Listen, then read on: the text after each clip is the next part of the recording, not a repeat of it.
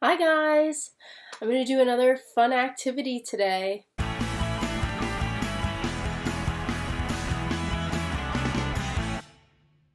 Today we're going to be doing a tape road slash maybe even a railroad and uh, I don't own one of those rugs that has the little roads on them and I also don't own any railroad tracks so this is a really easy way to make my own custom roads. So I'm going to be using some tape. So let's get to it.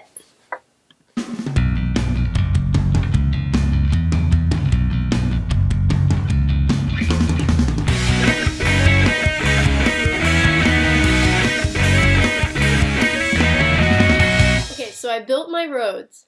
Now I need to put different buildings on it, uh, maybe just some stuffed animals, maybe some books if you don't have things that you can build with. Um, I'm going to use Lego figurines as my people. I don't actually have any cars, so I'm going to use um, some rocks that I made into little cars. Beep, beep, beep. Um, and I'm just going to add all the things that I think will make it fun. Alright, let's do it.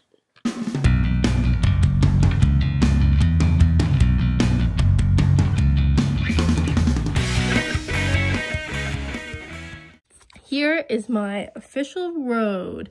I have my cars that I painted. I have some animals in the pasture. I have some books as my buildings. I found this blue cloth. That's the lake in the middle of the road. This guy's my ninja. He's on a skateboard. Got my house all the way at the top of the hill. So I feel pretty good about it. So now it's time to play. Oh, sick moves, dude. Whoa, so cool. Ah, wipe out.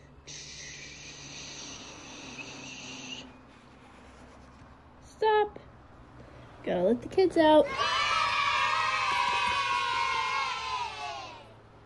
Hi.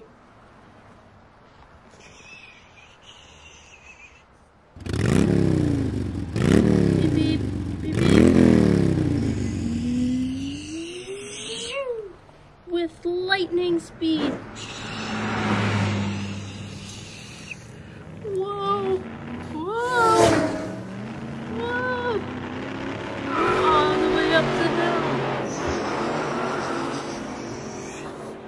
I'm home. Alright guys, I hope you have so much fun making your own tape roads and I can't wait to see them. Remember to send them to learningiseverywhere at bement.org and I'll see you next time.